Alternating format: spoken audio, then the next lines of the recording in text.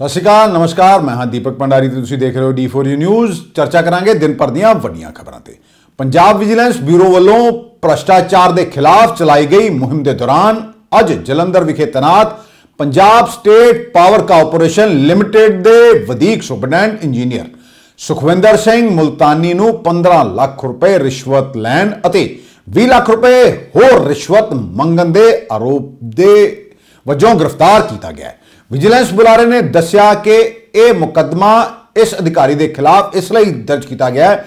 ਇਹ ਪਹਿਲਾਂ ਕਾਰਜਕਾਰੀ engineer, technical audit, Punjab state power corporation limited, Jalandhar ਵਿੱਚ ਤੈਨਾਤ ਸੀ ਉਸ ਦੇ ਵਿਰੁੱਧ Punjab state power corporation limited ਦੇ ਹੀ ਵੇਰਕਾ ਦੇ ਵਿਖੇ ਲੱਗੇ, ਅੰਮ੍ਰਿਤਸਰ ਦੇ ਵਿੱਚ ਲੱਗੇ ਸਟੋਰ ਕੀਪਰ ਸ਼ਰਨਜੀਤ ਸਿੰਘ ਨੇ ਸ਼ਿਕਾਇਤ ਕੀਤੀ ਸੀ ਕਿ ਉਸ ਤੋਂ ਰਿਸ਼ਵਤ ਮੰਗ ਰਿਹਾ ਉਸਨੇ ਮੁੱਖ ਮੰਤਰੀ ਦੀ ਭ੍ਰਸ਼ਟਾਚਾਰ ਵਿਰੋਧੀ ਐਕਸ਼ਨ ਲਾਈਨ ਤੇ ਆਡੀਓ, ਵੀਡੀਓ ਫਾਰਮੈਟ ਵਿੱਚ ਸਬੂਤਾਂ ਸਮੇਤ ਆਨਲਾਈਨ ਸ਼ਿਕਾਇਤ ਦਰਜ ਕਰਵਾਈ ਸੀ। ਸ਼ਿਕਾਇਤਕਰਤਾ ਨੇ ਦੋਸ਼ ਲਾਇਆ ਕਿ ਵਧੀਕ superintendent engineer Sukhwinder Singh Multani action ਵਜੋਂ ਤੈਨਾਤੀ ਸਮੇਂ ਸਟੋਰ ਦੇ ਸਮਾਨ ਦੀ ਨਿਰੀਖਣ ਰਿਪੋਰਟ ਉਸ ਦੇ ਪੱਖ ਵਿੱਚ ਭੇਜਣ ਲਈ 15 ਲੱਖ ਰੁਪਏ ਦੀ ਰਿਸ਼ਵਤ ਵਜੋਂ ਲਏ ਸਨ ਤੇ ਹੁਣ ਉਸ ਕੋਲੋਂ ਨੌਕਰੀ ਤੇ ਬਹਾਲ ਕਰਵਾਉਣ ਸੰਬੰਧੀ ਉਸ ਦੀ ਸਿਫਾਰਿਸ਼ ਕਰਨ ਦੇ ਬਦਲੇ 20 ਲੱਖ ਰੁਪਏ ਹੋਰ ਮੰਗ ਰਿਹਾ ਸੀ। ਕਿਉਂਕਿ ਉਸ ਸਟਾਫ ਵੈਰੀਫਿਕੇਸ਼ਨ ਰਿਪੋਰਟ ਦੇ ਆਧਾਰ ਤੇ ਹੀ ਉਸ ਨੂੰ ਮੁਅੱਤਲ ਕੀਤਾ ਗਿਆ ਸੀ ਤੇ ਇਸੇ ਲਈ ਉਸ ਤੋਂ 20 ਲੱਖ ਰੁਪਏ ਹੋਰ ਮੰਗੇ ਜਾ ਰਹੇ ਸਨ। ਉਸਨੇ ਸਾਰੀ ਰਿਕਾਰਡਿੰਗ ਕਰ ਲਈ ਤੇ ਇਹ ਦਸਤਾਵੇਜ਼ ਸਾਰੇ ਵਿਜੀਲੈਂਸ ਬਿਊਰੋ ਨੂੰ ਭੇਜ ਦਿੱਤੇ। ਉਸ ਨੂੰ ਗ੍ਰਿਫਤਾਰ ਕਰ ਲਿੱਤਾ ਗਿਆ ਪੰਜਾਬ ਪੁਲਿਸ ਨੇ 15 ਕਿਲੋਗ੍ਰਾਮ ਹੈਰੋਇਨ ਤੇ 8 ਲੱਖ 40 ਹਜ਼ਾਰ ਰੁਪਏ ਦੀ ਡਰੱਗ ਮਨੀ ਸਮੇਤ ਇੱਕ ਨਾਬਾਲਗ ਨੂੰ ਗ੍ਰਿਫਤਾਰ ਕੀਤਾ ਹੈ। ਗ੍ਰਿਫਤਾਰ ਨਸ਼ਾ ਤਸਕਰ ਦੀ ਉਮਰ 17 ਸਾਲ ਹੈ, ਜੋ ਅੰਮ੍ਰਿਤਸਰ ਦਾ ਰਹਿਣ ਵਾਲਾ ਹੈ। ਪੁਲਿਸ ਨੇ ਉਸ ਕੋਲੋਂ ਹੈਰੋਇਨ ਤੇ ਡਰੱਗ ਮਨੀ ਬਰਾਮਦ ਕਰਨ ਤੋਂ ਇਲਾਵਾ ਇੱਕ ਹੀਰੋ ਡੀਲਕਸ ਮੋਟਰਸਾਈਕਲ ਵੀ ਬਰਾਮਦ ਕੀਤਾ ਹੈ, ਜਿਸ ਤੇ ਉਹ ਸਵਾਰ ਹੋ ਕੇ ਇਸ ਹੈਰੋਇਨ ਦੀ ਸਪਲਾਈ ਕਰਨ ਜਾ ਰਿਹਾ ਸੀ।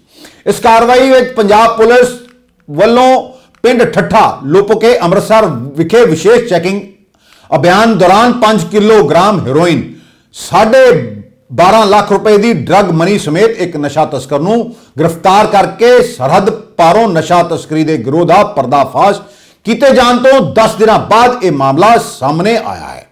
ਡੀਜੀਪੀ ਗੌਰਵ ਯਾਦਵ ਨੇ ਦੱਸਿਆ ਕਿ ਕਾਊਂਟਰ ਇੰਟੈਲੀਜੈਂਸ ਅੰਮ੍ਰਿਤਸਰ ਦੀਆਂ ਪੁਲਿਸ ਟੀਮਾਂ ਨੇ ਰਾਮਤੀਰਥ ਰੋਡ ਅੰਮ੍ਰਿਤਸਰ ਤੇ ਨਾਕਾ ਲਗਾ ਕੇ ਨਾਬਾਲਗ ਨੂੰ ਸਫਲਤਾਪੂਰਵਕ ਕਾਬੂ ਕਰ ਲਿਆ। ਜੋ ਆਪਣੇ ਸਾਥੀ ਰੇਸ਼ਮ ਸਿੰਘ ਵਾਸੀ ਪਿੰਡ ਖਾਸਾ, ਅੰਮ੍ਰਿਤਸਰ ਦੇ ਨਾਲ ਪਿੰਡ ਕੱਕੜ ਦੇ ਖੇਤਰ ਵਿੱਚੋਂ ਨਸ਼ੀਲੇ ਪਦਾਰਥਾਂ ਦੀ ਖੇਪ ਲੈਣ ਤੋਂ ਬਾਅਦ ਇਸ ਨੂੰ ਠਿਕਾਣੇ ਲਾਉਣ ਜਾ ਰਿਹਾ ਸੀ। ਉਹਨਾਂ ਇਹ ਵੀ ਦੱਸਿਆ ਕਿ ਮੁੱਢਲੀ ਜਾਂਚ ਤੋਂ ਪਤਾ ਲੱਗਿਆ ਹੈ ਕਿ ਪਾਕਿਸਤਾਨ ਆਧਾਰਿਤ ਤਸਕਰਾਂ ਵੱਲੋਂ ਨਸ਼ੀਲੇ ਪਦਾਰਥਾਂ ਦੀ ਇਹ ਖੇਪ ਡਰੋਨ ਰਾਹੀਂ ਸੁੱਟੀ ਗਈ ਸੀ। ਉਹਨਾਂ ਦੱਸਿਆ ਕਿ ਨਸ਼ਾ ਤਸਕਰ ਰੇਸ਼ਮ ਸਿੰਘ ਜੋ ਮੁੱਢਲੀ ਜਾਂਚ ਤੋਂ ਸਰਹੱਦ ਪਾਰੋਂ ਨਸ਼ੀਲੇ ਪਦਾਰਥਾਂ ਦੀ ਤਸਕਰੀ ਕਰਨ ਵਾਲੇ ਰੈਕਟ ਦਾ ਮਾਸਟਰ ਮਾਈਂਡ ਜਾਪਦਾ ਹੈ ਮੌਕੇ ਤੋਂ ਭੱਜਣ ਦੇ ਵਿੱਚ ਕਾਮਯਾਬ ਹੋ ਗਿਆ। ਉਹਨਾਂ ਇਹ ਵੀ ਦੱਸਿਆ ਕਿ ਪੁਲਿਸ ਟੀਮਾਂ ਉਸ ਨੂੰ ਫੜਨ ਲਈ ਛਾਪੇਮਾਰੀ ਕਰ ਰਹੀਆਂ ਹਨ। AIG CI staff Amritsar Amarjit Singh Bajwa ਨੇ ਦੱਸਿਆ ਕਿ ਗ੍ਰਿਫਤਾਰ ਨਾਬਾਲਗ ਦੇ ਪਿਤਾ ਅਤੇ ਦਾਦਾ ਪਹਿਲਾਂ ਹੀ ਐਨਡੀਪੀਐਸ ਐਕਟ ਦੇ ਤਹਿਤ ਕੈਦ ਕੱਟ ਰਹੇ ਹਨ। ਉਹਨਾਂ ਕਿਹਾ ਕਿ ਇਹ ਪਤਾ ਲਾਉਣ ਲਈ ਹੋਰ ਜਾਂਚ ਕੀਤੀ ਜਾ ਰਹੀ ਹੈ ਕਿ ਇਹ ਖੇਪ ਸਰਹੱਦ ਪਾਰੋਂ ਕਿਸ ਨੇ ਭੇਜੀ ਅਤੇ ਦੋਸ਼ੀ ਵਿਅਕਤੀ ਕਿਸ ਨੂੰ ਦੇਣ ਜਾ ਰਹੇ ਸਨ। ਇਸ ਸੰਬੰਧੀ ਥਾਣਾ ਐਸਐਸਓਸੀ ਅੰਮ੍ਰਿਤਸਰ ਵਿਖੇ ਐਨਡੀਪੀਐਸ ਐਕਟ ਦੇ ਤਹਿਤ ਮਾਮਲਾ ਦਰਜ ਕਰ ਲਿੱਤਾ ਗਿਆ ਡੇਰਾ ਸੱਚਾ ਸੌਦਾ ਮੁਖੀ ਰਾਮ ਰਹੀਮ ਨੂੰ ਪੈਰੋਲ ਦਿੱਤੇ ਜਾਣ ਖਿਲਾਫ ਸ਼੍ਰੋਮਣੀ ਗੁਰਦੁਆਰਾ ਪ੍ਰਬੰਧਕ ਕਮੇਟੀ ਨੇ ਪੰਜਾਬ ਅਤੇ ਹਰਿਆਣਾ ਹਾਈ ਕੋਰਟ ਦੇ ਵਿੱਚ ਪਟੀਸ਼ਨ ਪਾਈ ਸੀ। ਇਸ ਮਾਮਲੇ ਦੀ ਸੁਣਵਾਈ ਕਰਦੇ ਹੋਏ ਅਦਾਲਤ ਨੇ ਹਰਿਆਣਾ ਤੋਂ ਇਲਾਵਾ ਪੰਜਾਬ ਕੇਂਦਰ ਸਰਕਾਰ ਅਤੇ ਰਾਮ ਰਹੀਮ ਸਮੇਤ ਰੋਹਤਕ ਜੇਲ੍ਹ ਅਥਾਰਟੀ ਨੂੰ ਨੋਟਿਸ ਜਾਰੀ ਕਰਕੇ ਜਵਾਬ ਮੰਗਿਆ ਹੈ। ਇਸ ਬਾਰੇ ਜਾਣਕਾਰੀ ਦਿੰਦੇ ਹੋਏ ਐਸਜੀਪੀਸੀ ਦੇ ਵਕੀਲ ਪ੍ਰੇਮ ਸਿੰਘ ਹੁੰਦਲ ਨੇ ਦੱਸਿਆ ਕਿ ਪਟੀਸ਼ਨ 'ਚ ਕਿਹਾ ਗਿਆ ਸੀ ਕਿ ਇੰਨੇ ਵੱਡੇ ਅਪਰਾਧੀ ਨੂੰ ਪੈਰੋਲ ਨਹੀਂ ਦਿੱਤੀ ਜਾਣੀ ਚਾਹੀਦੀ। ਇਸ ਨਾਲ ਪੰਜਾਬ 'ਚ ਸ਼ਾਂਤੀ ਭੰਗ ਹੋਣ ਦਾ ਖਤਰਾ ਹੈ। ਸ਼੍ਰੋਮਣੀ ਕਮੇਟੀ ਵੱਲੋਂ ਜਿਹੜੀ ਸੌਦਾ ਸਾਹਿਬ ਦੀ ਪੈਰੋਲ ਦੇ ਖਿਲਾਫ ਜੋ ਰਿਟ ਪਾਈ ਗਈ ਸੀ, ਜਿਹਦੇ ਬਾਰੇ ਲੋਕਾਂ ਨੇ ਬੜੇ ਭੰਬਲ ਭੂਸੇ ਖੜੇ ਕੀਤੇ ਸੀ, ਉਹ ਰਿਟ ਜਿਹੜੀ ਹੈ ਅੱਜ ਪੇਸ਼ ਹੋ ਗਈ ਹੈ ਤੇ ਨੌ ਜਿਹੜੀਆਂ ਸੰਬੰਧਿਤ ਧਿਰਾਂ ਨੂੰ ਜਿਹੜਾ ਕਿ ਨੋਟਿਸ ਚਲਿਆ ਗਿਆ ਜਿਹਦੀ ਅਗਲੀ ਤਰੀਕ 21 ਤਰੀਕ ਪਾਈ ਗਈ ਹੈ ਜਦੋਂ ਕਿ ਉਹਨਾਂ ਨੂੰ ਇਸ ਮਾਮਲੇ ਸੱਦਿਆ ਗਿਆ। ਸੋ ਇਹ ਸ਼੍ਰੋਮਣੀ ਗੁਰਦੁਆਰਾ ਪ੍ਰਬੰਧਕ ਕਮੇਟੀ ਹੀ ਇੱਕ ਸਿੱਖਾਂ ਦੀ ਇੱਕ ਸਰਮੌਰ ਸੰਸਥਾ ਹੈ, ਜਿਹੜੀ ਆਪਣਾ ਬਣਦਾ ਫਰਜ਼ ਅਦਾ ਕਰਦੀ ਹੈ ਸੋ ਆਪ ਦੀ ਜਾਣਕਾਰੀ ਲਈ ਇਹ ਹੈ ਕਿ ਹਾਈ ਕੋਰਟ ਦੇ ਵਿੱਚ ਰਿਟ ਲੱਗ ਚੁੱਕੀ ਆ। 9 ਬੰਦਿਆਂ ਨੂੰ ਨੋਟਿਸ ਜਾ ਚੁੱਕਿਆ ਤੇ 21 ਤਰੀਕ ਅਗਲੀ ਫਰਵਰੀ ਪਾਈ ਗਈ ਜਿਸ ਤੇ ਕਤਲ ਅਤੇ ਜਬਰ ਜਨਾਹ ਵਰਗੇ ਗੰਭੀਰ ਮਾਮਲੇ ਚੱਲ ਰਹੇ ਹੋਣ ਉਸ ਨੂੰ ਪੈਰੋਲ ਕਿਉਂ ਦਿੱਤੀ ਜਾ ਰਹੀ ਹੈ? ਸਿਰਫ ਇਨਾ ਹੀ ਨਹੀਂ, ਪੰਜਾਬ 'ਚ ਬੇਅਦਬੀ ਕਰਵਾਉਣ 'ਚ ਵੀ ਰਾਮ ਰਹੀਮ ਦੀ ਭੂਮਿਕਾ ਰਹੀ ਹੈ। ਰਾਮ ਰਹੀਮ ਨੂੰ ਪੈਰੋਲ ਦਿੱਤੇ ਜਾਣ ਕਾਰਨ ਸਿੱਖਾਂ 'ਚ ਭਾਰੀ ਰੋਸ਼ ਹੈ। ਇਸ ਲਈ ਐਸਜੀਪੀਸੀ ਵੱਲੋਂ ਹਾਈ ਕੋਰਟ 'ਚ ਪਟੀਸ਼ਨ ਪਾਈ ਗਈ ਸੀ। ਵਾਰਸ ਪੰਜਾਬ ਦੇ ਜਥੇਬੰਦੀ ਦੇ ਪ੍ਰਧਾਨ ਅਮਰਤਪਾਲ ਸਿੰਘ ਭਲਕੇ ਵਿਆਹ ਦੇ ਬੰਧਨ ਦੇ ਵਿੱਚ ਬੰਦ ਜਾਣਗੇ। ਜਾਣਕਾਰੀ ਦੇ ਮੁਤਾਬਕ ਯੂਕੇ ਦੇ ਰਹਿਣ ਵਾਲੇ ਪਿਆਰਾ ਸਿੰਘ ਦੀ ਧੀ ਕਿਰਨਦੀਪ ਕੌਰ ਨਾਲ ਅਮਰਤਪਾਲ ਸਿੰਘ ਜਲੰਧਰ ਸਥਿਤ 6ਵੀਂ ਪਾਤਸ਼ਾਹੀ ਦੀ ਚਰਨ ਛੋਹ ਪ੍ਰਾਪਤ ਧਰਤੀ ਇਤਿਹਾਸਿਕ ਗੁਰਦੁਆਰਾ ਸਾਹਿਬ ਵਿੱਚ ਲਾਵਾਂ ਲੈਣਗੇ। ਇਹ ਵੀ ਪਤਾ ਲੱਗਾ ਹੈ ਕਿ ਕੁੜੀ ਪਰਿਵਾਰ ਦੇ ਗ੍ਰਹਿ ਵਿਖੇ ਕੁਝ ਦਿਨ ਪਹਿਲਾਂ ਗੁਪਤ ਤੌਰ ਤੇ ਭਾਈ ਅਮਰਤਪਾਲ ਸਿੰਘ ਫੇਰੀ ਵੀ ਪਾ ਕੇ ਗਏ ਸਨ। ਸੂਤਰਾਂ ਤੋਂ ਇਹ ਵੀ ਜਾਣਕਾਰੀ ਮਿਲੀ ਹੈ ਕਿ ਸ਼ਾਇਦ ਉਸ ਦਿਨ ਸ਼ਗਨ ਲਗਾਉਣ ਦੀ ਰਸਮ ਅਦਾ ਕੀਤੀ ਗਈ ਸੀ, ਜਿੱਥੇ ਬਾਹਰੀ ਲੋਕਾਂ ਦੀ ਐਂਟਰੀ ਪੂਰੀ ਤਰ੍ਹਾਂ ਨਾਲ ਬੈਨ ਕੀਤੀ ਗਈ ਸੀ। ਹਾਲੇ ਤੱਕ ਭਾਈ ਅਮਰਤਪਾਲ ਵੱਲੋਂ ਜਾਂ ਉਹਨਾਂ ਦੀ ਟੀਮ ਵੱਲੋਂ ਇਸ ਬਾਰੇ ਕੋਈ ਵੀ ਅਧਿਕਾਰਿਕ ਪੁਸ਼ਟੀ ਨਹੀਂ ਕੀਤੀ ਗਈ, ਪਰ ਇਹ ਖਬਰ ਮੀਡੀਆ ਵਿੱਚ ਨਸ਼ਰ ਹੋ ਜਾਣ ਨਾਲ ਹੀ ਭਾਈ ਅਮਰਤਪਾਲ ਦੇ ਸੁਨੇਹਿਆਂ ਵਿੱਚ ਉਤਸੁਕਤਾ ਵੱਧ ਗਈ ਹੈ। ਦੱਸਿਆ ਜਾ ਰਿਹਾ ਹੈ ਕਿ ਕਿਰਨਦੀਪ ਕੌਰ ਇੱਕ ਹਫ਼ਤਾ ਪਹਿਲਾਂ ਹੀ ਯੂਕੇ ਤੋਂ ਭਾਰਤ ਆਈ ਸੀ, ਜਿਸ ਤੋਂ ਬਾਅਦ ਦੋਵਾਂ ਪਰਿਵਾਰਾਂ ਵਿੱਚ ਅਮਰਤਪਾਲ ਸਿੰਘ ਅਤੇ ਕਿਰਨਦੀਪ ਕੌਰ ਦਾ ਵਿਆਹ ਕਰਨ ਬਾਰੇ ਫੈਸਲਾ ਕੀਤਾ ਗਿਆ ਹੈ। ਅੰਮ੍ਰਿਤਸਰ ਮੋਹਾਲੀ ਦੀ ਸਰਹੱਦ ਤੇ ਬੁੱਧਵਾਰ ਨੂੰ ਹੋਈ ਹਿੰਸਕ ਝੜਪ ਤੋਂ ਬਾਅਦ ਇੱਕ ਵਾਰ ਫਿਰ ਵੀਰਵਾਰ ਨੂੰ ਇੱਥੇ ਮਾਹੌਲ ਗਰਮਿਆ ਹੋਇਆ ਹੈ। ਸਿੱਖ ਕੈਦੀਆਂ ਦੀ ਰਿਹਾਈ ਦੀ ਮੰਗ ਕਰ ਰਹੇ ਕੌਮੀ ਇਨਸਾਫ ਮੋਰਚਾ ਦੇ ਕਾਰਕੁਨਾਂ ਵੱਲੋਂ ਕੀਤੇ ਜਾ ਰਹੇ ਪ੍ਰਦਰਸ਼ਨਾਂ ਕਾਰਨ ਪੁਲਿਸ ਨੇ ਵੀਰਵਾਰ ਨੂੰ ਚੰਡੀਗੜ੍ਹ ਮੋਹਾਲੀ ਸਰਹੱਦ ਨੇੜੇ ਸੁਰੱਖਿਆ ਸਖਤ ਕਰ ਦਿੱਤੀ। ਇੱਕ ਦਿਨ ਪਹਿਲਾਂ ਪ੍ਰਦਰਸ਼ਨਕਾਰੀਆਂ ਦੀਆਂ ਪੰਤੋੜ ਵਿੱਚ ਘੱਟੋ ਘੱਟ 7 ਪੰਜਾਬ ਪੁਲਿਸ ਮੁਲਾਜ਼ਮ ਜ਼ਖਮੀ ਹੋਏ ਸਨ। ਦੱਸ ਦਈਏ ਕਿ ਬੀਤੇ ਦਿਨ ਸਿੱਖ ਕੈਦੀਆਂ ਦੀ ਰਿਹਾਈ ਦੀ ਮੰਗ ਨੂੰ ਲੈ ਕੇ ਕੌਮੀ ਇਨਸਾਫ ਮੋਰਚਾ ਦੇ ਕਾਰਕੁਨਾਂ ਦੀ ਨੇ ਗੱਡੀਆਂ ਦੀ ਪੰਤੋੜ ਕੀਤੀ ਅਤੇ ਤਲਵਾਰਾਂ ਤੇ ਲਾਠੀਆਂ ਵੀ ਵਰਤੀਆਂ। ਪੁਲਿਸ ਨਾਲ ਇਹ ਭਿੜ ਗਏ ਸਨ। ADGP law and order Punjab ਨੇ ਕਿਹਾ ਕਿ ਉਹਨਾਂ ਨੇ ਐਫ ਆਈ ਆਰ ਦਰਜ ਕਰ ਲਈ ਹੈ ਅਤੇ ਅਮਨ ਕਾਨੂੰਨ ਦੀ ਸਥਿਤੀ ਨੂੰ ਠੀਕ ਰੱਖਣ ਲਈ ਸੁਰੱਖਿਆ ਦੇ ਸਾਰੇ ਪ੍ਰਬੰਧ ਕੀਤੇ ਗਏ ਹਨ। ਇੱਥੇ ਦੱਸ ਦਈਏ ਕਿ ਪੰਜਾਬੀ ਗਾਇਕ ਸਿੱਧੂ ਮੂਸੇਵਾਲਾ ਦੀ ਮਾਂ ਚਰਨ ਕੌਰ ਨੇ ਵੀ ਬੁੱਧਵਾਰ ਨੂੰ ਕਥਿਤ ਤੌਰ ਤੇ ਪ੍ਰਦਰਸ਼ਨ ਵਾਲੀ ਥਾਂ ਦਾ ਦੌਰਾ ਕੀਤਾ ਸੀ। ਰਿਪੋਰਟਾਂ ਦੇ ਮੁਤਾਬਕ ਕੌਮੀ ਇਨਸਾਫ ਮੋਰਚਾ ਦੇ ਪ੍ਰਦਰਸ਼ਨਕਾਰੀ ਬੁੱਧਵਾਰ ਨੂੰ ਦੁਪਹਿਰ 1 ਵਜੇ ਦੇ ਕਰੀਬ ਸਰਹੱਦ ਦੇ ਨੇੜੇ ਇਕੱਠੇ ਹੋਏ ਤੇ ਚੰਡੀਗੜ੍ਹ ਸਥਿਤ ਪੰਜਾਬ ਦੇ ਮੁੱਖ ਮੰਤਰੀ ਭਗਵੰਤ ਮਾਨ ਦੀ ਰਹਾਇਸ਼ ਵੱਲ ਮਾਰਚ ਕੀਤਾ। ਜਦੋਂ ਉਹਨਾਂ ਨੂੰ ਅੱਗੇ ਵਧਣ ਤੋਂ ਰੋਕਿਆ ਗਿਆ ਤਾਂ ਪ੍ਰਦਰਸ਼ਨਕਾਰੀਆਂ ਨੇ ਪੁਲਿਸ ਤੇ ਤਲਵਾਰਾਂ, ਰਾਡਾਂ, ਡੰਡਿਆਂ ਅਤੇ ਹੋਰ ਤੇਜ਼ ਹਥਿਆਰਾਂ ਨਾਲ ਹਮਲਾ ਕਰ ਦਿੱਤਾ। ਬੰਦੀ ਸਿੰਘਾਂ ਦੀ ਰਿਹਾਈ ਤੇ ਬੇਅਦਬੀ ਮਾਮਲਿਆਂ ਦੇ ਦੋਸ਼ੀਆਂ ਨੂੰ ਸਜ਼ਾ ਦਿਵਾਉਣ ਲਈ ਕੌਮੀ ਇਨਸਾਫ ਮੋਰਚਾ ਨੂੰ ਖੱਬੇ ਪੱਖੀ ਕਿਸਾਨ ਯੂਨੀਅਨਾਂ ਦੀ ਹਮਾਇਤ ਮਿਲ ਗਈ ਹੈ। ਭਾਰਤੀ ਕਿਸਾਨ ਯੂਨੀਅਨ ਉਗਰਾਹਾਂ ਮਗਰੋਂ ਹੁਣ ਭਾਰਤੀ ਕਿਸਾਨ ਯੂਨੀਅਨ ਕ੍ਰਾਂਤੀਕਾਰੀ ਨੇ ਵੀ ਮੋਰਚੇ ਦੀ ਹਮਾਇਤ ਕਰਨ ਦਾ ਐਲਾਨ ਕੀਤਾ ਹੈ। ਇਸ ਦੇ ਨਾਲ ਹੀ ਸੰਯੁਕਤ ਕਿਸਾਨ ਮੋਰਚਾ ਵੀ ਮੈਦਾਨ ਵਿੱਚ ਨਿੱਤਰ ਆਇਆ ਹੈ। ਭਾਰਤੀ ਕਿਸਾਨ ਯੂਨੀਅਨ ਦੇ ਕ੍ਰਾਂਤੀਕਾਰੀ ਦੇ ਕੌਮੀ ਪ੍ਰਧਾਨ ਡਾਕਟਰ ਦਰਸ਼ਨਪਾਲ ਨੇ ਦੱਸਿਆ ਕਿ 20 ਤਰੀਕ ਨੂੰ ਸੰਯੁਕਤ ਕਿਸਾਨ ਮੋਰਚਾ ਦਾ ਵਫਦ ਕੌਮੀ ਇਨਸਾਫ ਮੋਰਚਾ ਦੀ ਹਮਾਇਤ ਲਈ ਚੰਡੀਗੜ੍ਹ ਜਾਵੇਗਾ। ਉਹਨਾਂ ਕਿਹਾ ਕਿ ਇਸ ਤੋਂ ਪਹਿਲਾਂ ਵੀ ਸਾਡਾ ਉਹਨਾਂ ਨੂੰ ਸਮਰਥਨ ਹੈ।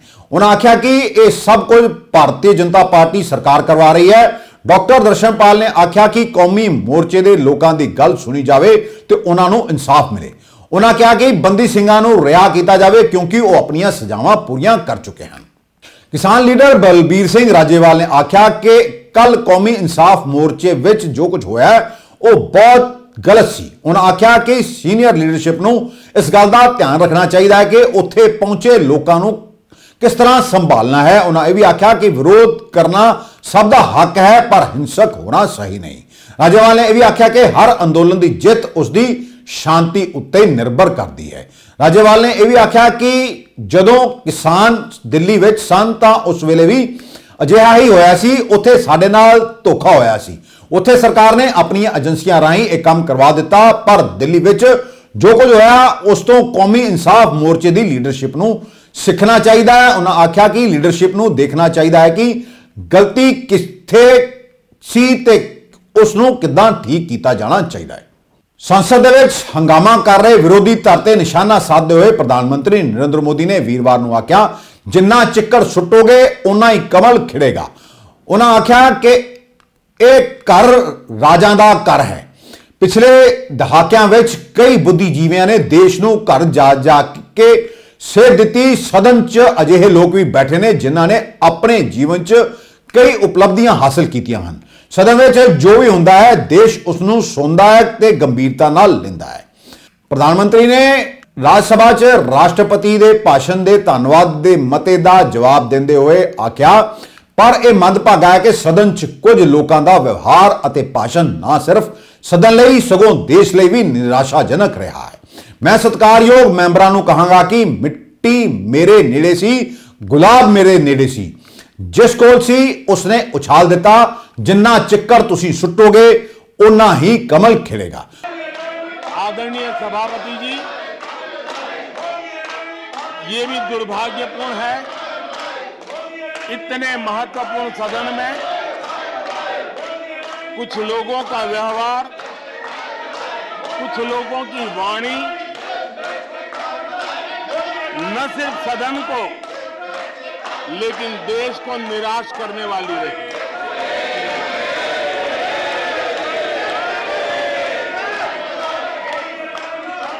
इस प्रकार की वृत्ति प्रवृत्ति के माननीय सदस्यों को मैं यही कहूँगा कीचड़ इसके पास था। कीचड़ उसके पास था मेरे पास गुलाल।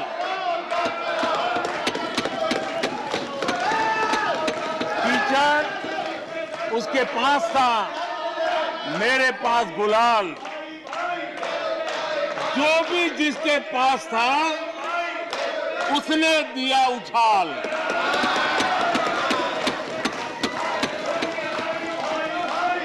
और अच्छाई है जितना कीचड़ उछालोगे, कमल उतना ही ज़्यादा खिलेगा।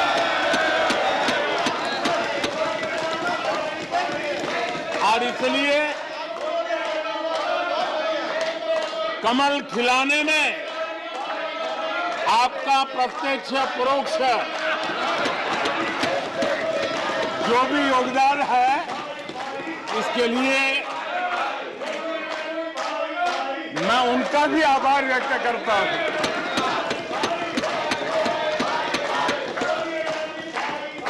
आदरणीय सभापति जी, कल विपक्ष के हमारे वरिष्ठ साथी आदरणीय खड़गे जी ने कहा कि हमने 60 साल में मज़बूत बुनियाद बना रहे थे ऐसा कल आपने कहा। और उनकी शिकायत थी कि बुनियाद तो हमने बनाई और क्रेडिट मोदी ले रहा है। लेकिन आदरणीय सभापति जी 2014 में आकर के जब मैंने बारीकी से चीज़ों को बड़ी गहराई से देखने का प्रयास किया फ़र्स्ट हैंड इंफॉर्मेशन लेने का प्रयास किया। तो मुझे नज़र आया कि 60 साल कांग्रेस के परिवार ने, हो सकता है उनका इरादा मज़बूत नींव बनाने का हो। मैं उस पर कोई टिप्पणी करना नहीं चाहता।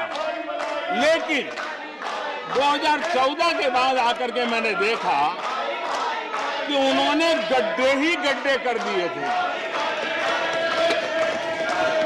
उनका इरादा नींव का होगा, लेकिन उन्होंने गड्ढे ही गड्ढे कर दिए। थे और आदरणीय सभापति जी,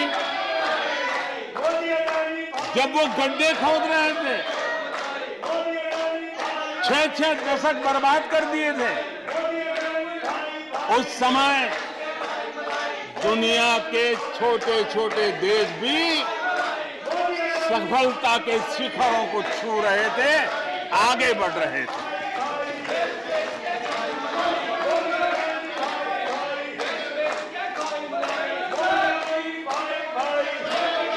आदरणीय सभापति जी, उनका तो वो साल इतना अच्छा माहौल था कि पंचायत से लेकर के पार्लियामेंट तक, उन्हीं की दुनिया चलती थी। इतना देश भी अनेक आशा अपेक्षाओं के साथ आँख बंद करके उनका समर्थन करता था। लेकिन उन्होंने इस प्रकार की कार्यशैली विकसित की, इस प्रकार का कल्चर विकसित किया कि जिसके कारण वे एक भी चुनौती का परमानेंट सॉल्यूशन करने का न कभी सोचा, न कभी उनको सूझा, न कभी उन्होंने प्रयास किया।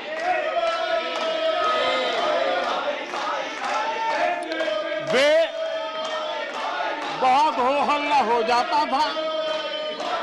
तो चीज़ों को छू लेते थे टोकनिज्म कर लेते थे, और फिर आगे चले जाते थे। समस्याओं का समाधान करना, ये उनका दायित्व था। देश की जनता समस्याओं से जूझ रही थी। देश की जनता देख रही थी कि समस्या का समाधान कितना बड़ा लाभ कर सकता है। लेकिन उनकी प्रायोरिटीज अलग थी उनके इरादे अलग थे और उसके कारण किसी भी बात का परमानेंट सॉल्यूशन का प्रयास नहीं किया ਤੁਹਾਨੂੰ ਦੱਸ ਦਈਏ ਕਿ ਲਗਾਤਾਰ ਹਿਡਨਬਰਗ ਦੀ ਰਿਪੋਰਟ ਨਸ਼ਰ ਹੋਣ ਤੋਂ ਬਾਅਦ ਵਿਪਕਸ਼ ਪ੍ਰਧਾਨ ਮੰਤਰੀ ਤੇ ਸਵਾਲ ਚੁੱਕ ਰਿਹਾ ਹੈ ਕਿ ਗੌਤਮ ਅੰਡਾਨੀ ਨਾਲ ਉਹਨਾਂ ਦੀ ਨੇੜਤਾ ਕਿਉਂ ਹੈ ਅਸਲੀ ਪਾਸੇ ਨਾ ਹੀ ਕੱਲ ਤੁਹਾਡੇ ਨਾਲ ਫੇਰ ਰੂਬਰੂ ਹੋਵਾਂਗੇ। ਤਦ ਤੱਕ ਦਿਓ ਸਾਨੂੰ ਇਜਾਜ਼ਤ। ਸਤਿ ਸ਼੍ਰੀ ਅਕਾਲ, ਨਮਸਕਾਰ।